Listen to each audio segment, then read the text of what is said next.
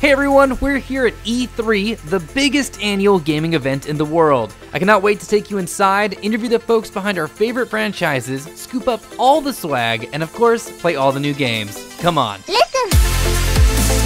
Alright, we're here at Nintendo just waiting in line to check out this summer's big game. This is gonna be so sick. Who here is excited? Yeah! Okay, folks, still in line, haven't moved a lot, and it's getting warm, but who cares? It's E3. Who's excited?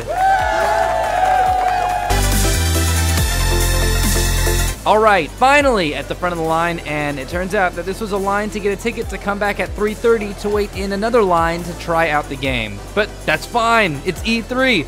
Who's excited? Woohoo! All right, let's go check out some other booths before we come back. We're here at Epic Games talking to one of my favorite game designers. Let's talk Fortnite. Fortnite has taken over the world. Where do you go from here? How do you keep that game alive? Oh, well, you know. We took everything we loved about the game Uh huh. and put new skins over it. Wait, what? It's a complete HD remaster. But but You know, change around the textures of the backgrounds, put on some different outfits, that kind of stuff. is there anything else that you um did? Oh, of course. This is our baby. We wanted to go all out for this one. Amazing. Like what? Well, you know how we changed up the theme for the last season? We are completely changing the game for this one. Any hint about what those will be? Um, mostly new skins. okay. Well, thank you. Thank you so much. Don't you want to see the new dance we're putting in the game? It's called the Floss 2.0. No, that's okay. Improved hip physics, better lighting. God, you could take a selfie with it. Little disappointing, but at least I got this shirt. I cannot believe this. I'm talking to one of the lead designers behind Halo. Halo! I just have to ask, how do you keep every game in the series so consistent, yet so fresh? Oh, well, we have a dedicated team Yes. that takes the old game Uh huh. and reskin the entire experience. You know, like change the textures of the backgrounds, put on some different outfits. Yeah, but I'm I'm sure you also thought about the the gaming experience and Oh, obviously. This is our child. We raised this game together. We have a whole season pass that's going to blow your mind. Yes. Can you give me a hint of what's coming down the pipeline? I really shouldn't, but it's skins. Like in this version, the suit is green, but with the season pass, it'll be blue. Yeah, no, I got it. Thank you. But it's online. At the end of the day, how is it the exact same game if it's the exact same game but online? Right? Right? Now I gotta go. Thank you.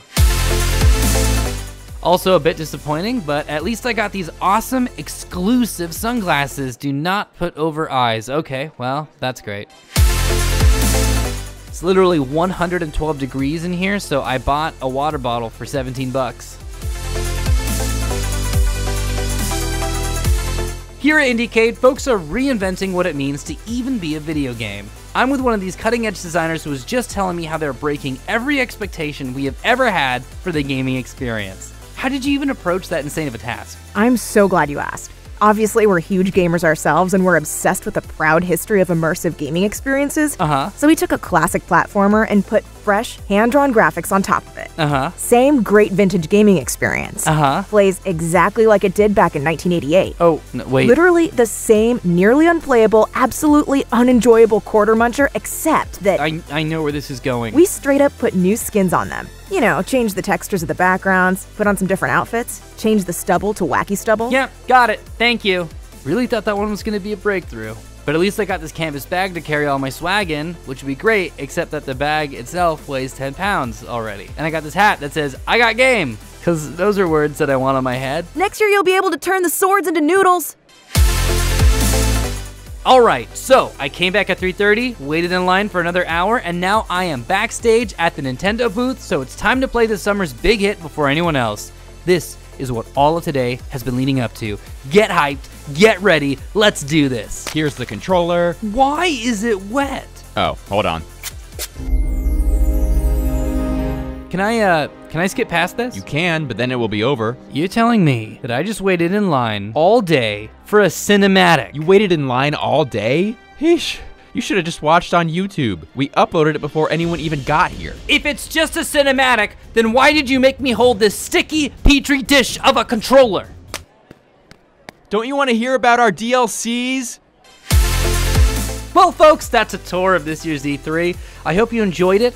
What game got you hyped? Leave a comment below. Make sure to like and subscribe to enter a contest to win these E3 exclusive Lanyards. Lanyards. They're black lanyards that say Namco on them. This box is 50 Namco lanyards. Who even, if you needed a lanyard, wouldn't you already have these are only relevant if you work for the company Namco. You know what? I'm just gonna I'm done. I'm gonna go home and play some video games.